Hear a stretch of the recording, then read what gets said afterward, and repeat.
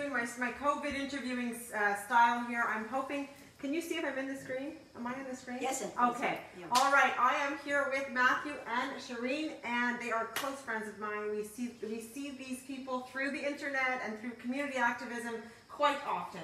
So what I want to introduce you to today is Matthew. Hi, Matt. Hi.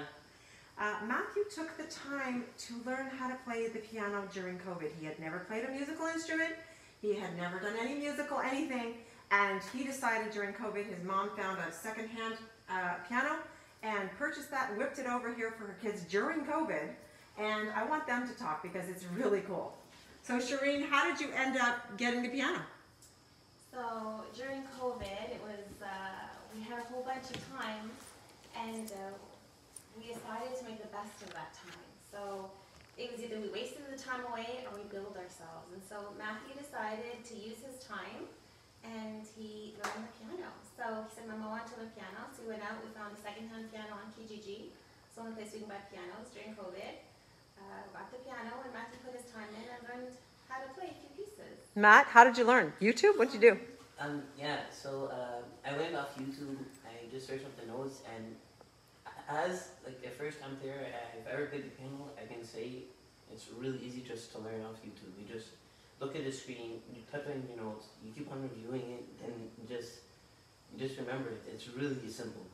And I think it's, I, I'm not sure if it's as simple or as maybe you have some talent there, sweetie, but that's okay. Let's say it's simple. Um, that being said, how many hours a day did you devote?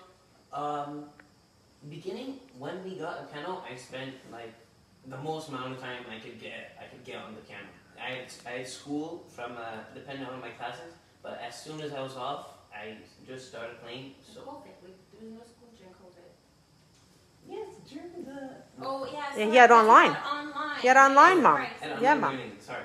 Um, but then after that, during summer break, um, so we went out. We had activities also, but I still managed to find some time so I can play. So I'd say maybe like one to two hours a day. but Okay. Really fun. And consistently every day? Uh, not every day. A lot of days. Okay. Um, any advice to anybody who wants to learn an instrument like this? I encourage you all. You should. You should. It's a very fun thing to do. Like, from my perspective, COVID, you can't do anything else but stay on screen. But it's a great. It's like something great to do. And do you read the, the music now? Can you read music or are you just doing this phonet- like by ear? Um, well, I'm trying to read music, but I'm mostly doing it by ear. Okay, it's pretty spectacular. You do realize that, right? It's not like an ordinary lifetime thing that every somebody learns the piano in three months. Can you show me something else? Can you play for us? Sure, play you. in- Play that fancy one that I heard Mummy put on uh, on Facebook the other day. He was practicing, so. Oh, I he took was- The opportunity. You you you you lied to him. But he didn't know. He didn't No, I'm sure he didn't know. Go, Matt. Let's hear something.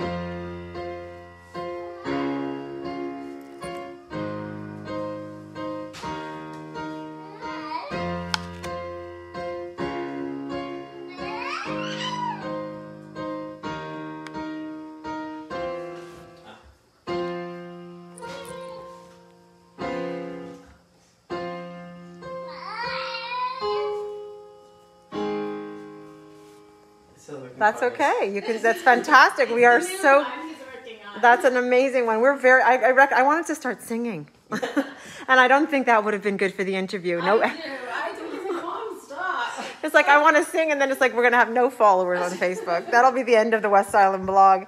Well done, Matthew. Well done, Shireen. Uh, keep up the good work. We want to see where this leads you, so let us know. Have a great rest of your day. Thanks so much. God bless. God bless.